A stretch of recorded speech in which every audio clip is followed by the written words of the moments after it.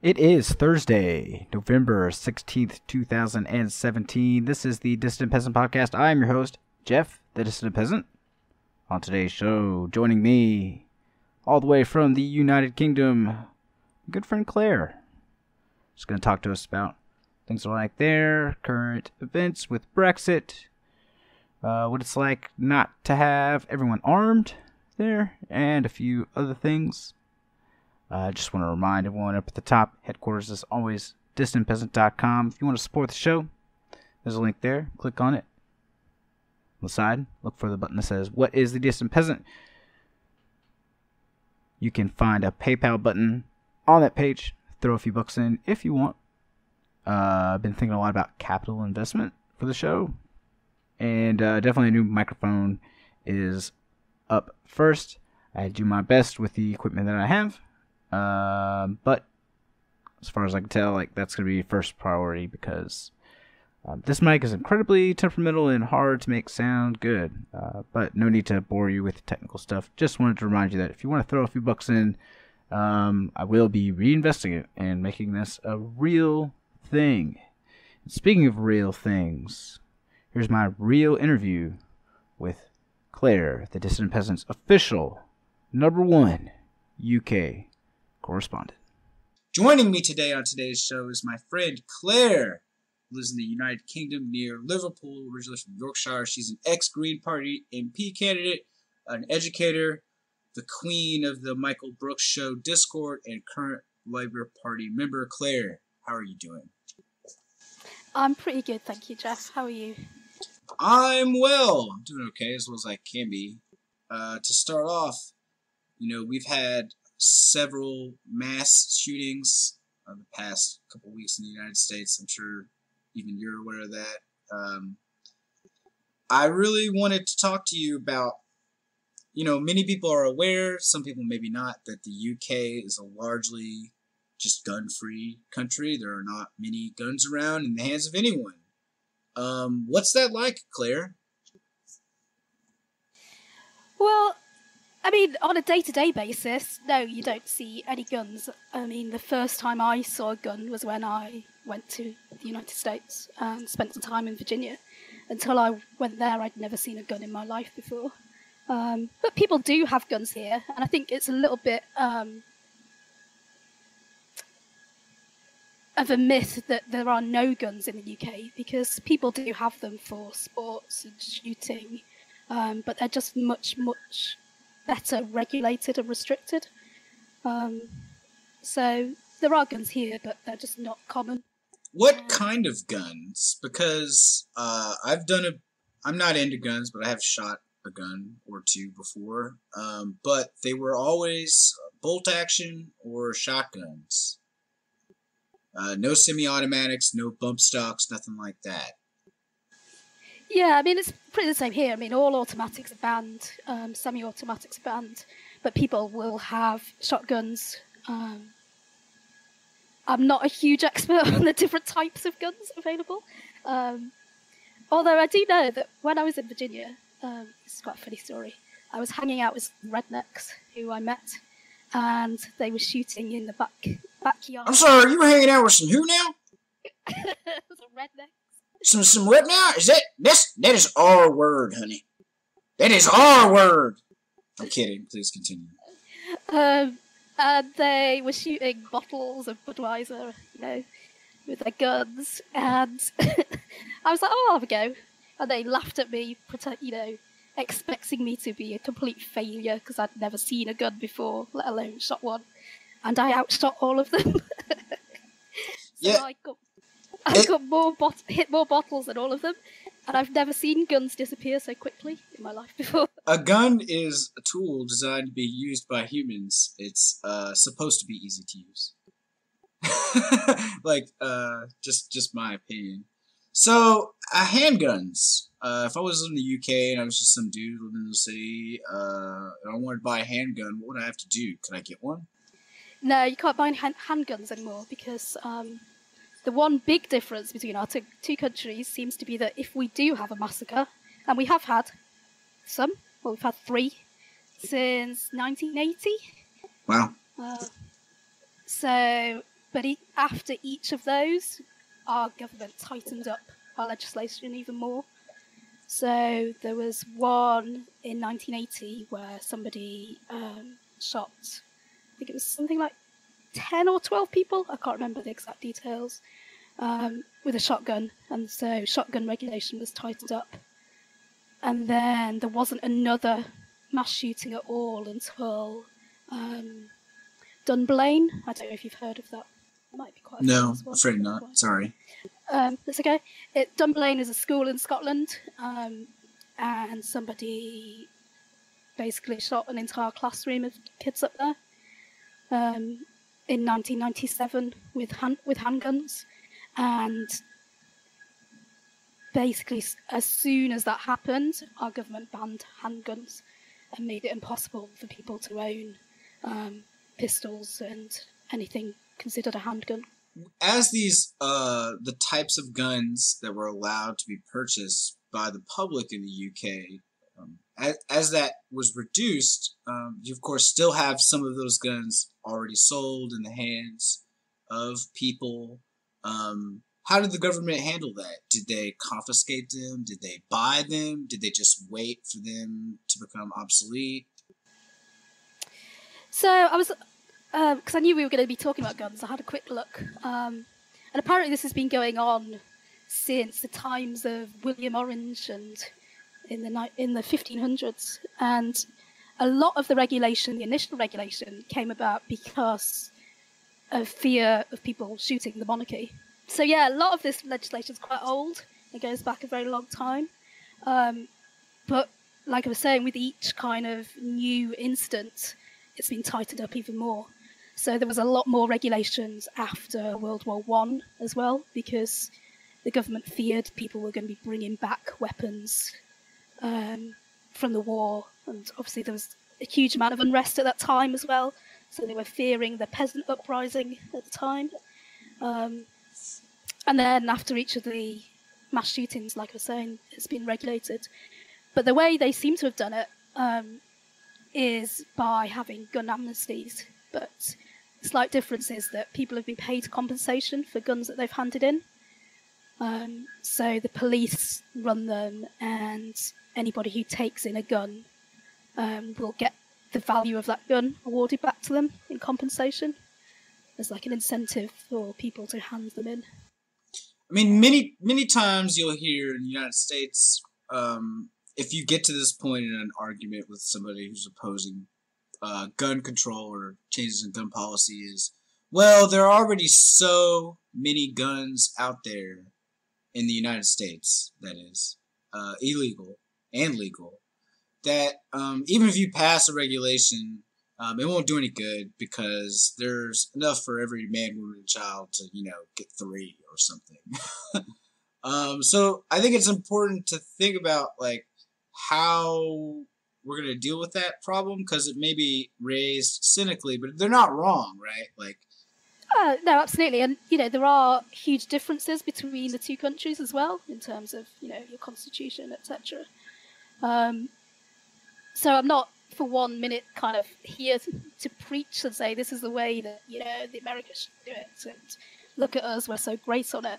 Because, like I say, some of our legislation goes back centuries, and it would be impossible, I think, for you to completely instigate that overnight there. I think it does have to be a gradual thing for people to get on board with it.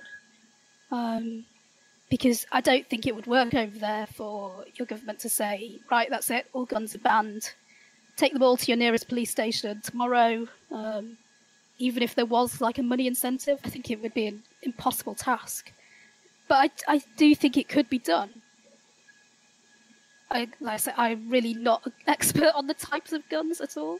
I know people, you know, we make the joke that uh, you, you need to know everything and anything there is to know about uh, guns and weapons or comment on control, but you don't. Uh, and uh, I just really wanted the perspective of someone who like gets to live the experience of just not seeing weapons all the time. Claire, I go out to the grocery store and the dude in front of me in the checkout line's packing, and you know, every everywhere I go, you know, it seems like somebody's armed, and, and it, it makes me feel uneasy.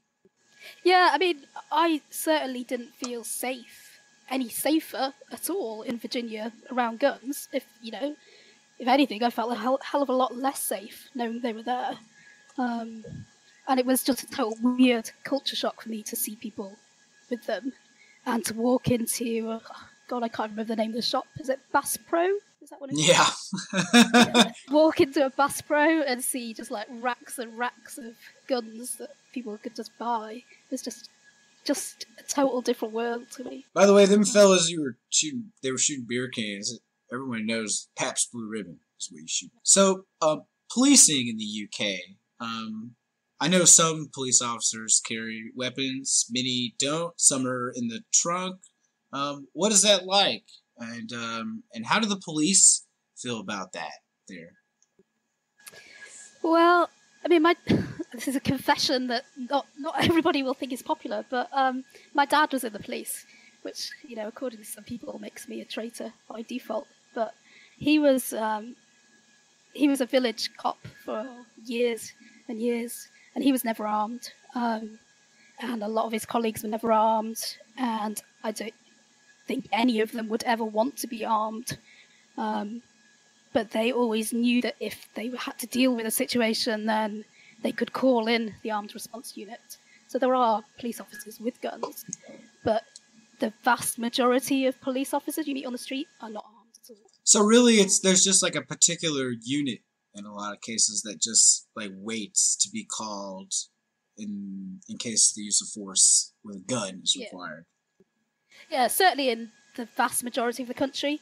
I have a feeling London might be slightly different. I think there are slightly more armed units down there, but certainly in the majority of the country, police are not armed at all.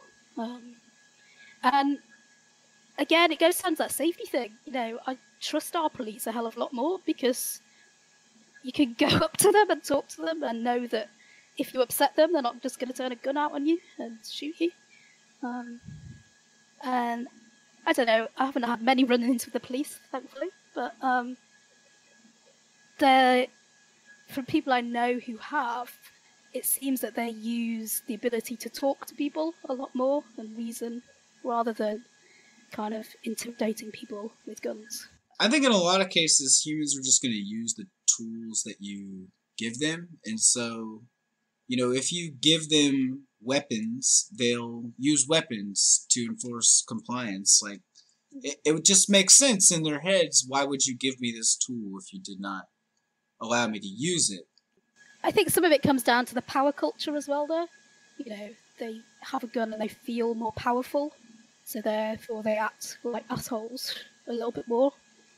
Um, how much a role do you think um, the racial uh, composition and history in the UK plays a role in police culture? You know, it's just a matter of fact that uh, a system of white supremacy and slavery in this country.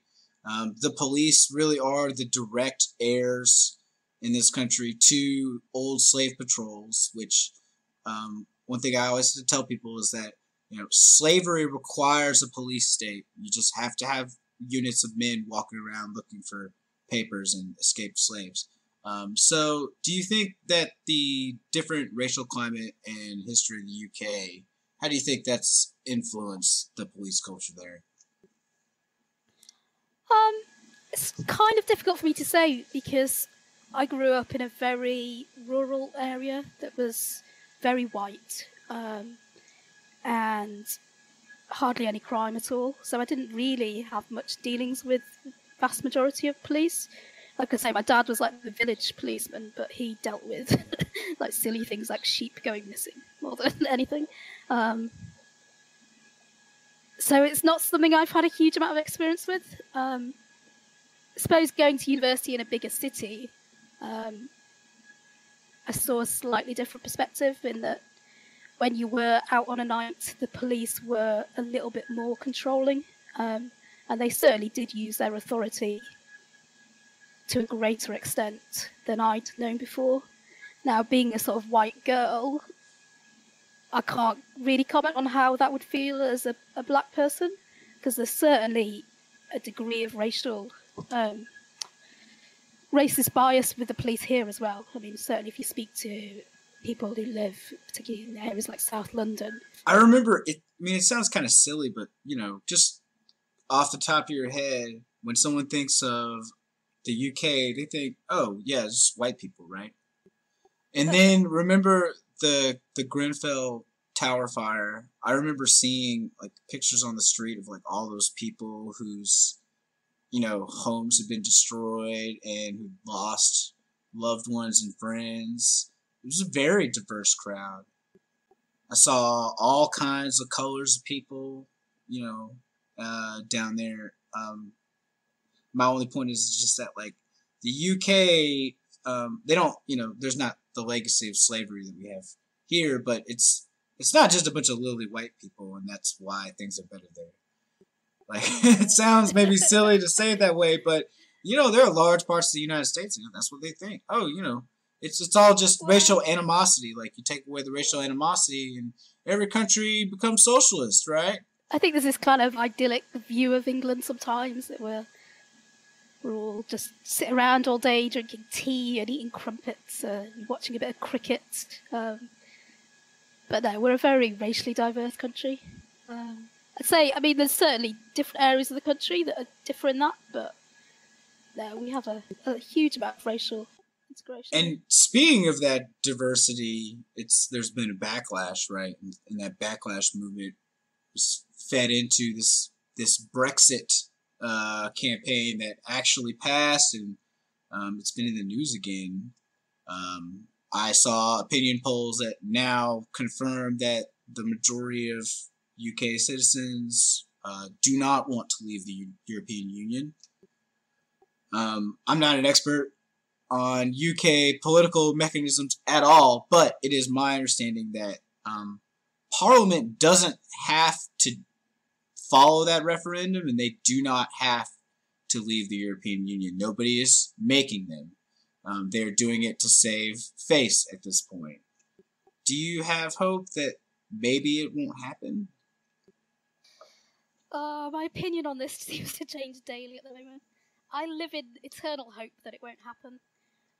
Oh, and do I and did I have that right? Sorry, is I Yeah, no. is my understanding correct? Um, yeah, I mean, I would want us to stay in the EU as long as possible. I don't think the EU was ever perfect, um, and it certainly needed to change. But yeah, it was an idiotic decision. I mean, it seems to me the worst part of it is the the euro, um, which was not handled appropriately. But you guys, like a lot of that stuff, you don't have to worry about because you got a bunch of ex- exemptions from it. Yeah, and that's that's the even more frustrating thing about it is that we have all these special deals in place to make it the EU deal that we wanted, but people want to give up on all of it, including all the good stuff as well. I mean, what p- people don't realise is a lot of our labour laws, for, exa- for example, come from the EU, and it terrifies me, particularly if the Conservatives do stay in power, like how much of those they're going to revoke when we leave, um, because they're already kind of you know anti-strike and anti-union, and the only thing stopping them at the moment is EU regulation.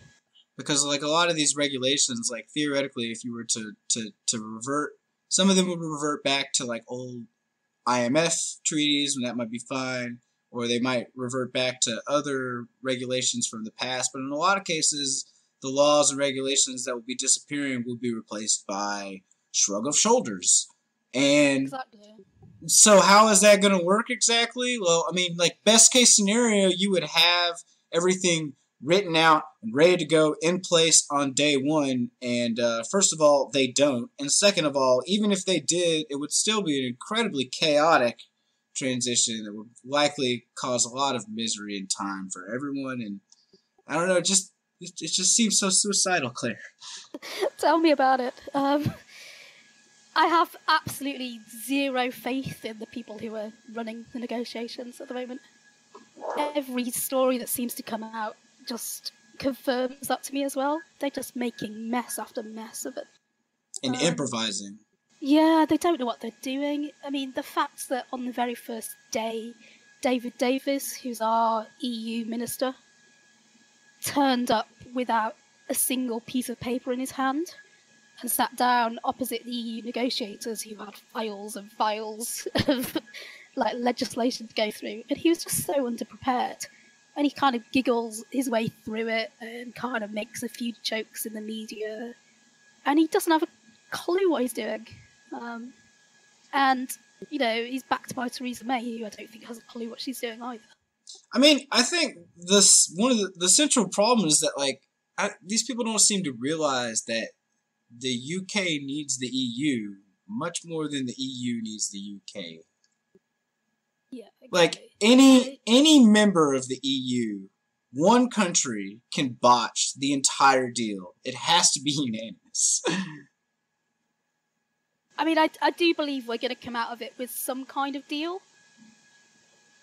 And uh, I don't know. I, part of that deal is going to have to involve still following some EU regulations if we want to trade with them.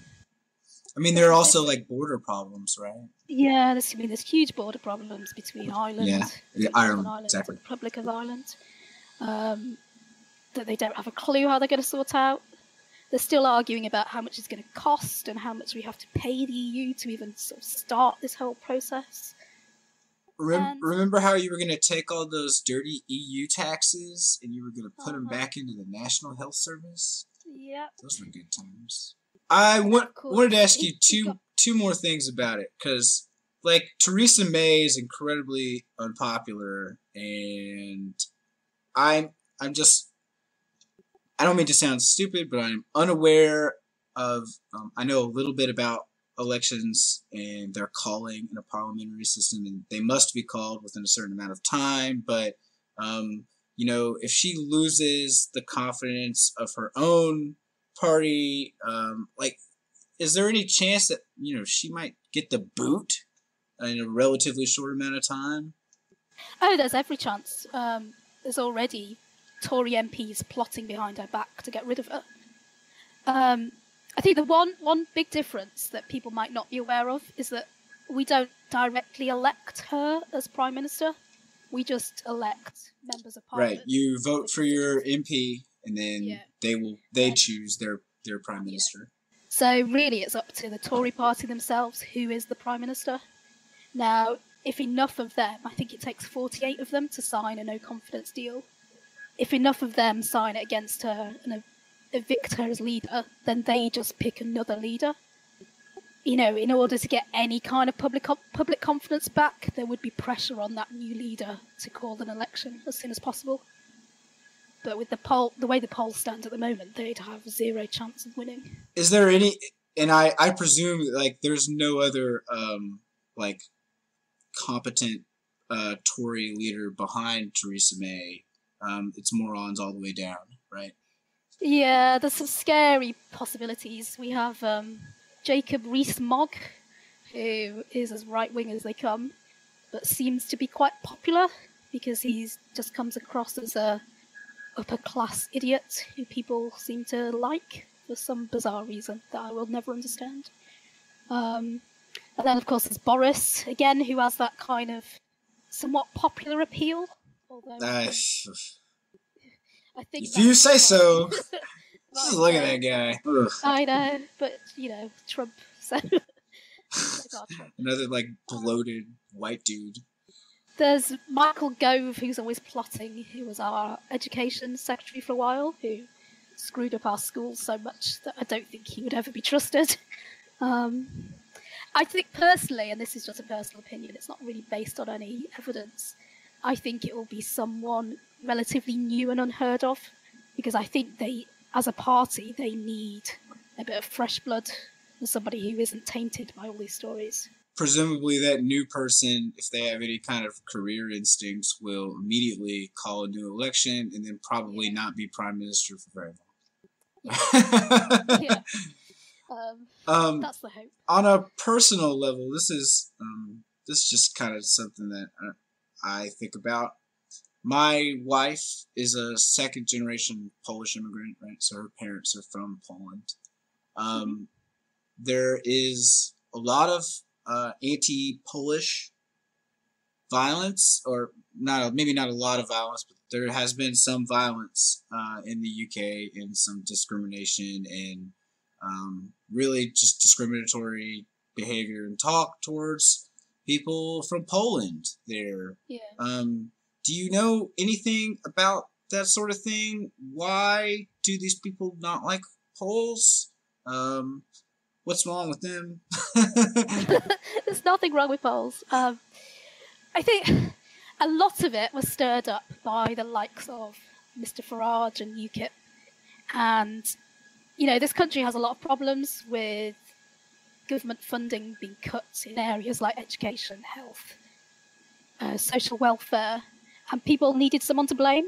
Um, so, you know, they spun it as don't blame the government, blame these immigrants who are coming in and stealing your jobs and making you have to wait to see a doctor and making your child's school have too many kids in it.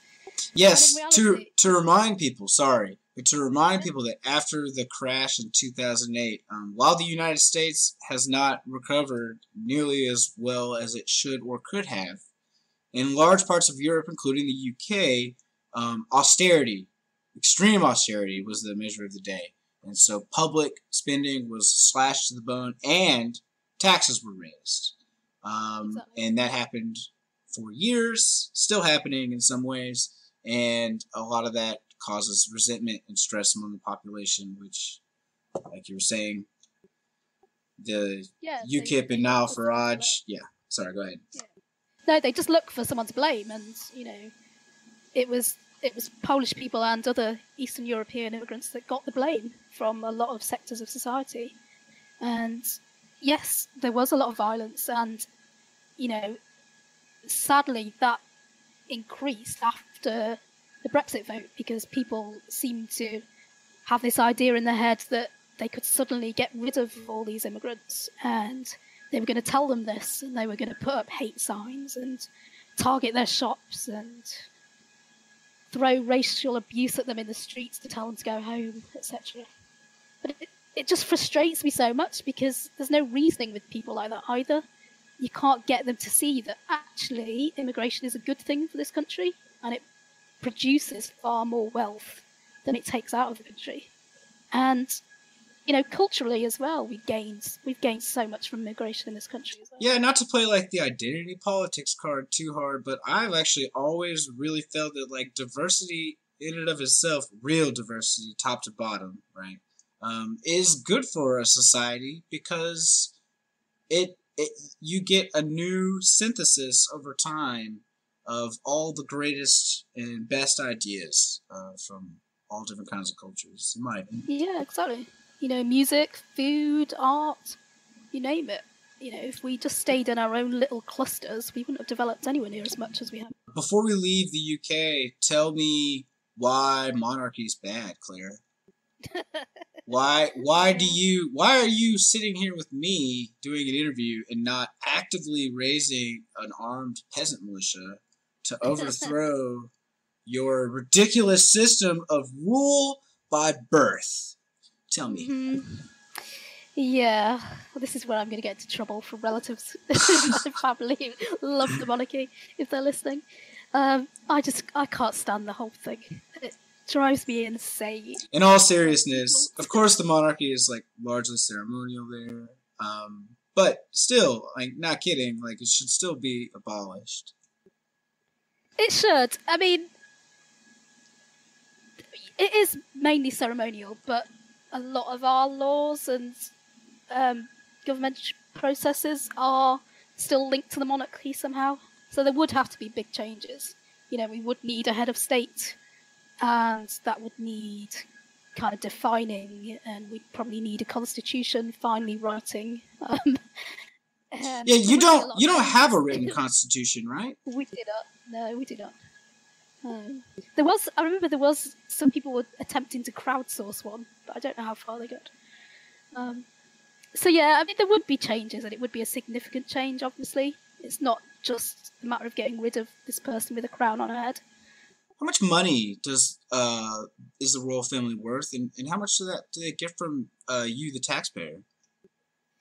Oh, I can't remember the exact. I mean, it's you know, just not- yeah. yeah. Not this is not a pop quiz, but like, aren't they? Isn't the queen a billionaire though?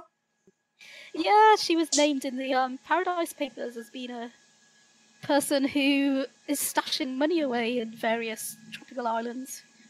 Um, I mean, the, you know, people always use the argument that oh, they bring in so much money from tourism, um, but are you seriously telling me people would just stop coming to the UK if we didn't have the Queen anymore?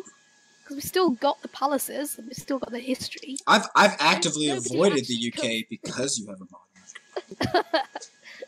nobody actually comes to see the actual queen because you don't see her. People come to see the stuff that would still be there if she's gone. Um, I don't know. The whole thing is silly to me. Um, somebody else was telling me, one of our mutual friends whose name escapes me right now, that they think a large part of the monarchy's popularity is uh, rolled up into the the person who is the monarch at the moment, and that the queen is relatively popular and well regarded, even by people who, you know, I'm not a monarchist, but I got no problem with her. Well, until this Panama Papers thing, right? Um, how true do you think that is? Do you think these Panama paper revelations will cause her to be less popular, and thus the monarch support for the monarchy might fall, or even if it doesn't, uh, if when she's gone, uh, the crown passes to Charles or whatever his goofy ass name is.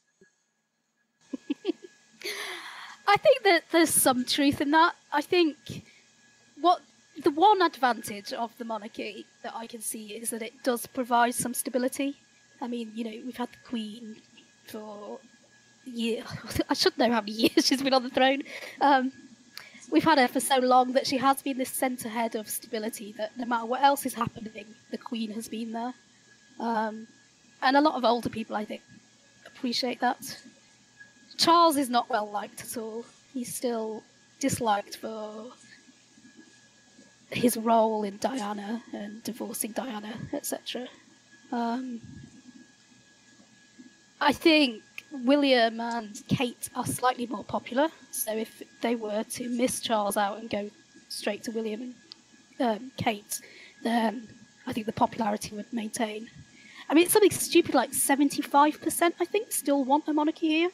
So it is a big battle to to try and overcome. I mean, I guess if I was in a compromising mood and didn't have my pitchfork sharpened, I would say um, maybe a monarchy's fine, but this one uh, too big, too lavish, too rich. Yeah, I, I'd agree with that. But uh, they have a lot of wealth that isn't just linked to them being monarchs. You know, they own a lot of land and they've got a lot of historical wealth that wouldn't disappear even if they didn't get tax funding anymore. Um, so they would always be one of the richest families in the country. Um, Well, not going to go away. No, you could just take their stuff. Well, Like, I mean, it's just take their stuff. Like, I'm not saying like take everything and leave them in the street, but just you know, I'm sorry, this is a tax. Like this, we're passing a as tax as long as I bill. her crown. I want her crown. Queen of the TMBS Discord, indeed. Jeez, how much do you think that thing be worth? You'd never have to work again, or your kids, or you could start your own monarchy with that crown. I kid. You could sell it and buy a smaller crown and use the difference in money to like fund your own nation. No, I, ju- I just want to wear it around town. You know, just for the fun of it. I mean, monarchies do suck, but when you're playing fantasy, like you always want to be a knight or a lord. Nobody ever plays uh, um, an RPG or something and chooses to be the dirty peasant who shovels horse shit all day. True. Yeah. Is that something wrong with our society though that we do always want to be top? Uh, no, I think it's just Just an evolution thing. I don't know. It's just a. I think honestly, it's just like a ro. It's just a, a romanticization of uh, the past, and you know, knights and lords and ladies are cool. If I'm being real, um, Game of Thrones pissed me off this season, but in general, I like that genre and the first four or five seasons. Yeah, yeah. I mean, Like, do you like, you know, everybody likes, well, maybe not everybody, but lots of people like dragons and knights and sword fights and stuff. Well, we know you've got your dragon art, so we know how much of a fan dragons you are. I took those paintings down. really? Yes, Oh, because I'm so embarrassed. Oh, don't, don't be embarrassed. well, and then Jane was like, "Can you just take them down?" I was like, "Okay." No, I mean, yeah, I love dragons. I love Game of Thrones and fantasy as a general genre. This is a little far afield, but maybe this will make it in to the podcast because this is something I've always thought about. The show, what's what the Game of Thrones show, and I'm about to spoil the shit out of it if you haven't seen it. So, um, not for you, but for anyone listening. Uh, the showrunners, after they've run out of book um, plot because the rest aren't written yet, they've lost the point. Because if you read those books, it is a pretty heavy handed critique of feudalism and fundamentalist religion, in my opinion. Yeah, no, I, I totally agree, and I think the show, I mean, the last season, was not good at all, in my opinion. I mean, it was good viewing, and it's good if you can not think about it too much.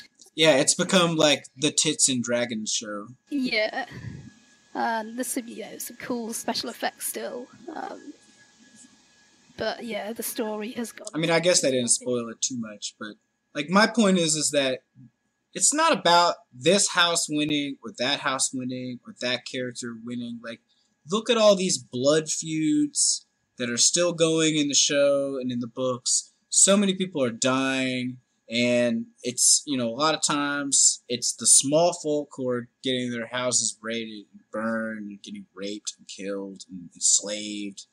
It's awful Mhm. uh, this system of blood inheritance and loyalty and feudalism is barbaric and awful for the vast majority of people. Like that is Yeah, the point. yeah. War is bad. Stop it. war and this stupid feeling, I guess, of being attached to the, the land you happen to be born on is something I'd never understood. Like, you know, I like Britain and I like the people and the culture here, but I don't really feel any huge attachment to the place and wanting to defend it constantly, or I certainly would not go to war to defend it. Um, Not even against the French. well, yeah, maybe the Welsh as well. Oh, Um, shots fired.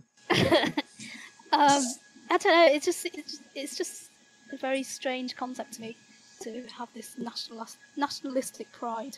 I have I have crapped on religion and my own Christianity past a lot lately, but I will say one thing um, that it did influence my thinking positively in, which is that when I was growing up and thinking about, okay, uh, who's born where, how do they get to heaven, how does God judge those who say are born a Hindi in India, um, you know, the kinds of questions you begin to ask when you're 12, 13, 14, going through confirmation.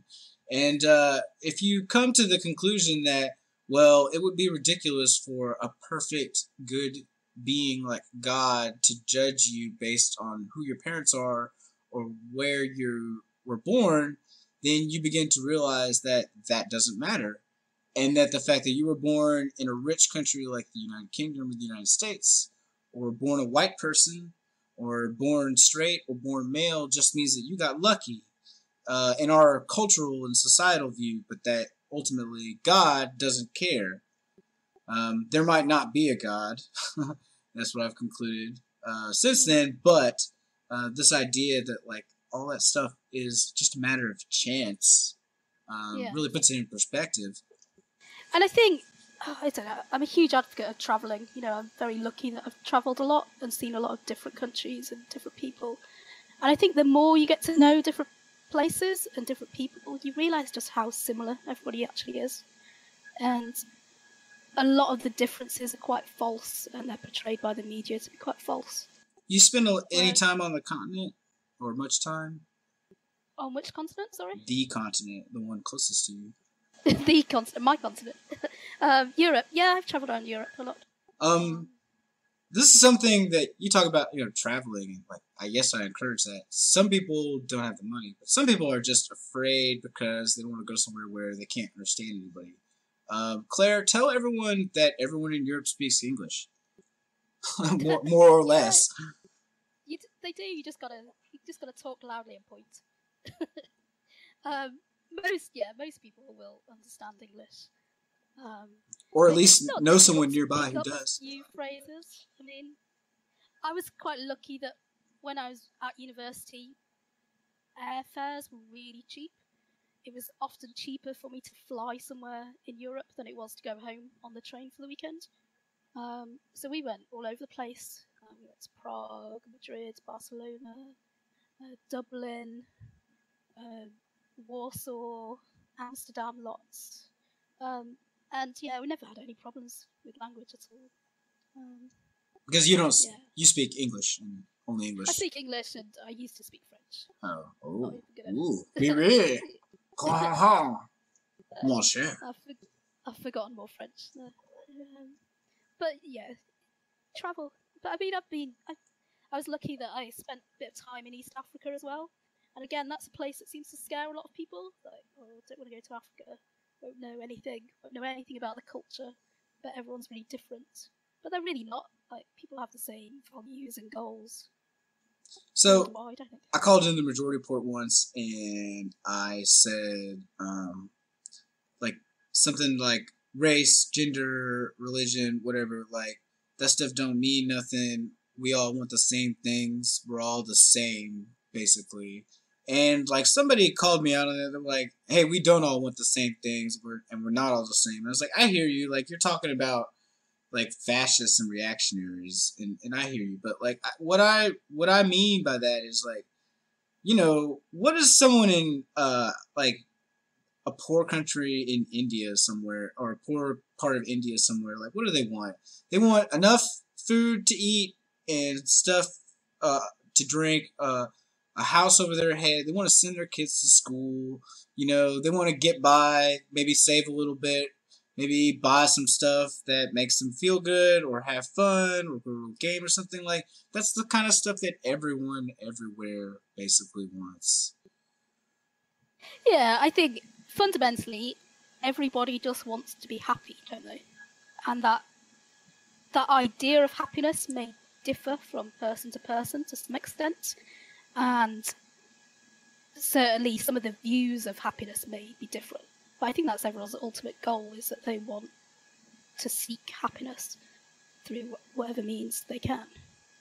And for some people, that well, for most people, that's family and relationships and education. Nah, I hate people. but but yeah, I mean, you know, if you are the sort of person who hates people, then your idea of happiness may be living on an island. no i don't hate people uh, and nobody can really do that. Humans are way too socially uh, evolved. Like imagine that it's like prehistoric times and you know all we got is like sticks and stones and um, there are like 20 humans sitting around a fire and you know there's a big lion like prowling the edge of it right? That that lion can take out any one or even two or three of them right? Like it's stronger it's faster it's more vicious it's a killing machine.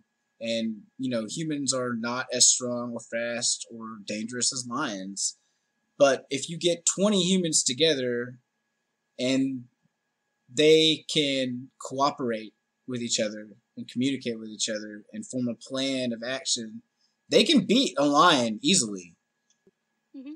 like that is what makes us the most dominant species on the planet. Not our strength not our intelligence it is our socialization that makes us awesome. So like i as much as i hate uh people i would never want to live by myself on an island. That would suck. Yeah. I mean, if you look evolutionary wise, then it's the way our brains have developed to be social creatures, and you know we get a lot of um, pleasure hormones, etc., released when we are social, do things for other people, and we act in kind ways, which kind of which makes selfish people so difficult to understand for me, because I don't see how they can actually seek any real pleasure from screwing people over. Um, to to. I think a lot of times it's just a fear, a fear of loss, a fear of change. Um, everyone, everyone can uh, experience like what's like to show empathy. Everyone can also experience what it's like to be afraid of losing something that you care about, and you know you don't always respond uh, rationally or logically or fairly in situations like that. So Mm. I see a lot of those people around me. There's a lot of people like that here um, who are are desperate and afraid um, because they feel it and they see it. The world's slipping away and people are getting poorer, and um, it's making them anxious and stressed and want to hold on to what's theirs even tighter. Yeah. And that goes back to what we were saying before about they look for someone to blame um, in that situation. Right, and just because it's natural doesn't mean that it's good. Don't give in to natural inclinations. We're better than that. Anyway, you were going to educate me on Thanksgiving as a someone who. I can I can do that with you here if you want. If you're not if you're up for it. Yeah, it's gone. Tell me about. I uh this is this is a me. this is just a little like pet peeve thing of mine. Like I'm uh, I'm not a historian. I I don't have any uh particularly high level historical education. I just like history and I've, read some books because I, I like to read about that kind of stuff and listen to some, some stuff. Um, but I should make clear that I'm not a historian. I I have a undergraduate level education in music and computers, and that's it. Um, but Thanksgiving is my least favorite holiday, probably second maybe to only Columbus Day. No, not even really, because Columbus Day you really don't do all that much. Thanksgiving is always an event. Um, Claire, when white people arrived in the Americas for the first time, um, first of all, it certainly wasn't 1492 because there are many. We have lots of evidence that many other people may have, or probably, or might have gotten here before then. Uh, maybe not white people, but people from uh, Eurasia. So the Chinese, there's evidence. The Phoenicians, the Egyptians, there's some suggestion that they got here. The Vikings, there's strong evidence that they got here uh, in the 1000s.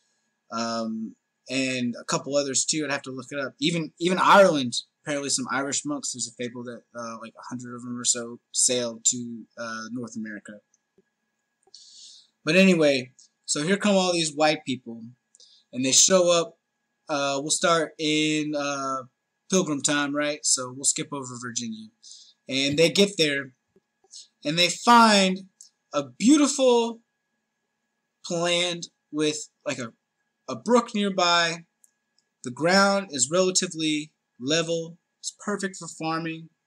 And they even find uh, abandoned graves and huts. And so they move in and they call it theirs. Wow. like they literally, literally moved in on top of the bones of Native Americans who had died because of disease. Disease always, always um, traveled ahead of settlers because Yeah. disease just, you know, it moves faster than people can walk Mhm. or ships can sail. and so a lot of places, white people would show up and there would not be very many Indians or, excuse me, Native Americans around. And um, the fast forward, you know, tens, hundreds of years, the Indians get subjugated, and um, white people, consciously, unconsciously in this country, tell themselves a story of it was our superior technology and social organization and political structures to the um, maybe you admired, uh, but still somewhat backwards Native Americans who were here. And it just isn't the case. It is unmeditated, uh, unpremeditated biological warfare that. Won us the war against the Native Americans. Our level of technological and social uh, structure between the two continents at the time of Columbus was basically a parody. Like, there is no way that European settlers, if they did not have the help of disease, could have conquered North America. And this story of this little thing that we can't see or touch really of disease that won us this country in large part single dermedly, right? Smallpox alone does a lot of this work for us. For us to celebrate that as a triumph of American spirit or can do itness or even friendship and reconciliation with the Native Americans, to me, totally misses um, the relevant history and the. And it's and what's more is it's dangerous. It's dangerous for people to have these delusions about themselves and their country. It it's a way of amberizing the people who lived here before we did, and um, making them less than us. And that sort of tendency is not just historic. We it feeds into our outlook and behavior now, in terms of how we view uh, race and the rise of like, xenophobia in this country. So, are you starting the war on Thanksgiving then? if I'm being completely serious, like if if I had to pick a holiday to wage war on to destroy, like Thanksgiving would absolutely come first. Like I would pick it way before Christmas. uh, you see, the one the one you need to get rid of is the Fourth of July. Oh. Mm. Celebrating Ooh, our demise. See, I don't know. That's more. I got mixed feelings there. We all know that, but we explore those mixed feelings like every week on this show. So, like, I, I don't need to get into exactly why I got mixed feelings about July Fourth I'm sorry, I said it the wrong way, didn't I? July Fourth. or Independence July. Independence Day. No, the Fourth of July is also correct. Uh, Claire, to wrap up, is there anything else that you wanted to end us with? Anything you wanted to shout out? Anything you want to get off your chest? What you got? Well, I mean, I could start ranting about education, but I think we've probably talked enough about that. So I shall end by saying everybody should join the TMBS Discord. um, left is best, and eat the rich. Starting with the queen. From her mouth to guy's ears. Thanks, Claire. I really appreciate it. old. No, nobody, uh, please don't eat anymore. Thanks for joining us. Anti cannibalism here on the show. Bye, bye, bye, bye, bye, bye, bye, bye.